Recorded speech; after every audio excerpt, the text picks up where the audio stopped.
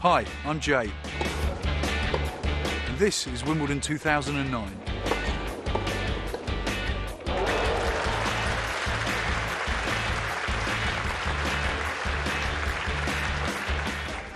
But this year we have some ideas that are really quite different. We wanted to start producing smart mobile applications to make the Wimbledon experience even better.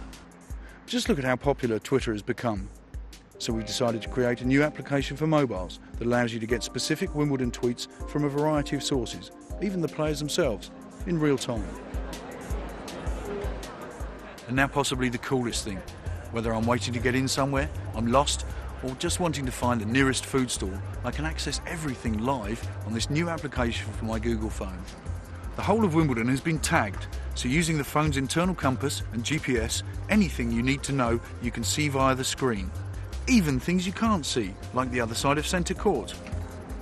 Oh, this looks interesting. No, way too many people. Ah, now that's what I'm after.